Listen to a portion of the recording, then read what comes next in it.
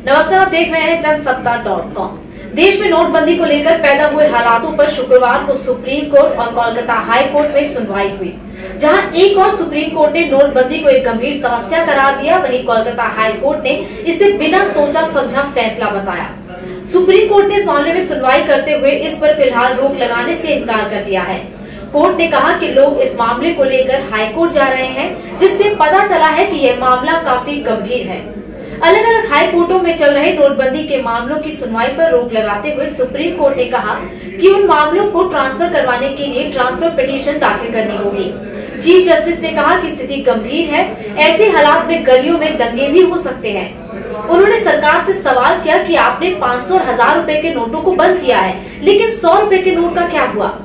वही कोर्ट ने ये भी पूछा कि पिछली बार आपने कहा था कि आप जनता को राहत देने की दिशा में काम कर रहे हैं, लेकिन आपने तो रकम को घटाकर दो हज़ार रूपए कर दिया है। समस्या क्या है? क्या ये प्रिंटिंग से जुड़ी दिक्कत है?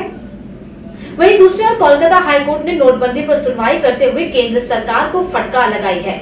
हाईकोर्ट ने कहा कि सरकार रोज इस मामले में लिए गए फैसलों को बदल रही है, जो कि ठीक नहीं है। नोटबंदी के दसवें दिन भी देश में हालात जस के तस हैं।